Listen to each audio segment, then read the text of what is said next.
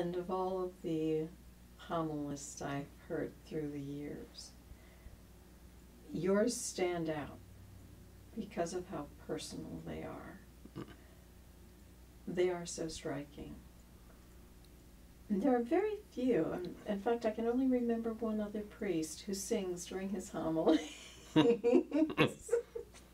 That's one of the things that I think everyone loves about your homilies uh-huh. because you make those songs that are contemporary songs suit the gospel or whatever passage that you're trying to pull into the homily.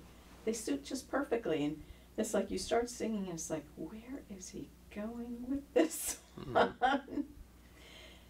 Did you start out that way? Or did you grow into the style that you have for your homilies?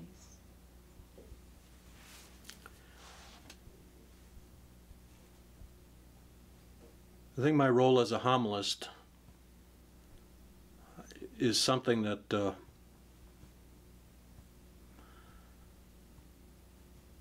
I take very seriously. I think any priest would say that, so I'm not. Uh, but it, it, it's something that uh, always is a challenge to me. It, it makes me nervous.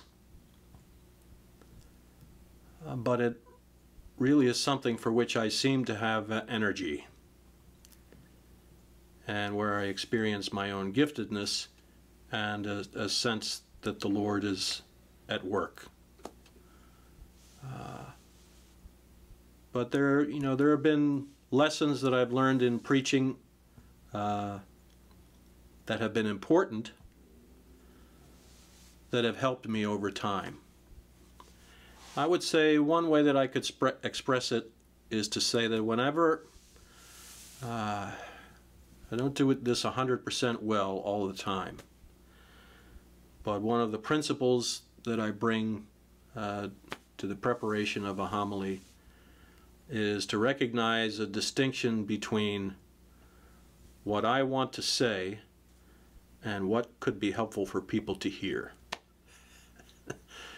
So that that touches, you know, practical things like uh, my use of humor or how I'll approach something humorously or whether or not that's a good idea. Uh, whether it's time for a joke. a lot of folks in the pews will uh, are warmed up uh, by a joke. Uh, sometimes I do that, not not too often. Anything personal about my own journey, I ask myself is, you know, is this intended to be a pilgrim?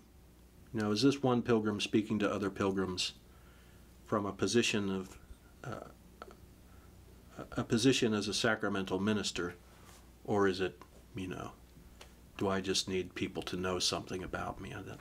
So the, there are questions that I have learned to ask myself about what I'm doing and who am I serving. Um, and, and, you know, I would say this about preaching. It's it's not something that I uh, lose sleep over.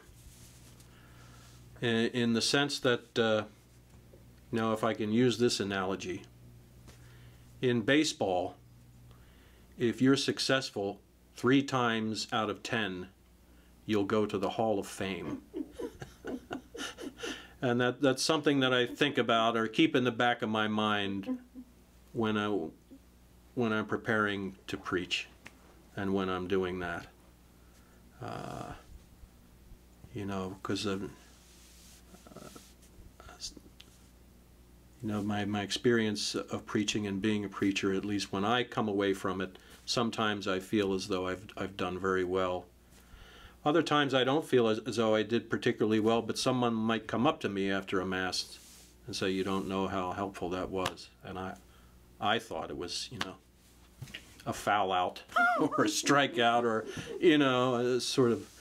Uh, uh, so I, I think I've learned to uh, let go of the ministry of preaching in ways that can help me relax and, and take an approach to it uh, that is about service and, and helps me to ask honest questions of myself about what what the people of God uh, could hear that would be helpful to them.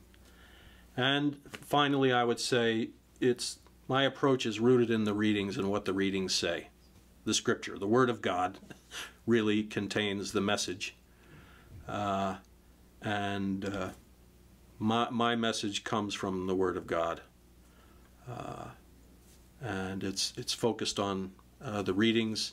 It can also include, you know, different moments in the celebration of the Eucharist that might be a helpful connection and help people to continue to celebrate or hear God's Word as as the liturgy unfolds, or a feast day or a saint or, or things like that can uh, can become part of the message or can be a focus of uh, how to employ the word. But uh, I, I try as much as I can to let it be about the Word of God and not the Word of